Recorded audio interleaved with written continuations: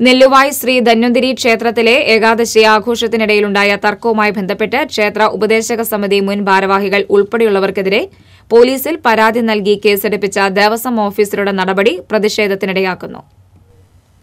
ദേവസ്വം ഓഫീസറുടെ കൃത്യനിർവഹണം തടസ്സപ്പെടുത്തിയെന്ന പരാതിയിൽ ഉപദേശക സമിതി മുൻ ഭാരവാഹികളും അംഗങ്ങളും ഉൾപ്പെടെ പതിമൂന്ന് പേർക്കെതിരെയാണ് എരുമപ്പെട്ടി പോലീസ് ജാമ്യമില്ലാ വകുപ്പ് ചേർത്ത് കേസെടുത്തിരിക്കുന്നത്. മുൻ വർഷങ്ങളിൽ ക്ഷേത്ര ഉപദേശക സമിതിയുടെ നേതൃത്വത്തിലാണ് ഏകാദശി ആഘോഷം നടത്താറുള്ളത്.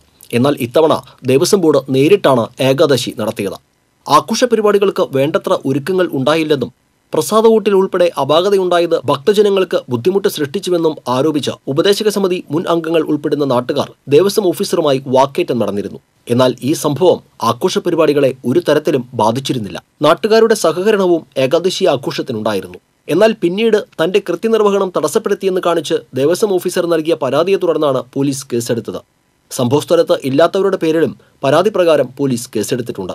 ഭക്തർക്കെതിരെ കേസെടുത്ത നടപടി നാട്ടുകാർക്കിടയിൽ പ്രതിഷേധത്തിന് ഇടയാക്കിയിരിക്കുകയാണ്. T C V Erumapetty.